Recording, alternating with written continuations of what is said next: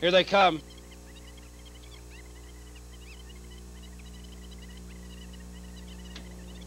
They're up and pacing on the outside open outcry left towards the inside augment. Moving up from the center of the track. Denny far outside driving up as Uncle Murph, and there's three across the track battling for the lead. Open outcry leads. Uncle Murph hustling up on the outside second. Denny drops in third. Exceptional came away fourth. Racing in fifth. Grandira Augment make that by popular demand sixth. Augment back to seventh. He's a bit rough as they move on to the back stretch. Then on the inside, it's Tartarus and trailing the field.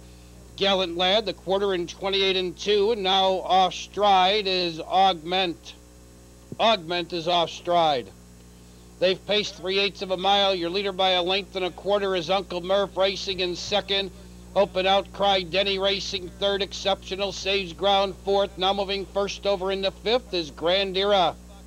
On the outside with cover sixth by popular demand. Gallant Lad, 7, Tartarus, 8, Augment is a distant trailer. 58 and 2 and they're halfway home, midway on the turn. Your leader by a length and a quarter, Uncle Murph. Open outcry racing second on the outside. Grandira continues to advance without cover, then towards the inside with no place to go. Fourth, Denny on the inside looking for room. Fifth, Exceptional. Racing up six as they turn for home by popular demand as they turn for home. Open Outcry has moved up for the lead. Three quarters, 128 and four. And Open Outcry has surged into a seven length advantage. Racing in second, Grandira dropping back is Uncle Murph on the outside, closing ground. Exceptional Open Outcry leads by four. Exceptional is closing ground second. Denny now shakes loose and he ducks to the inside.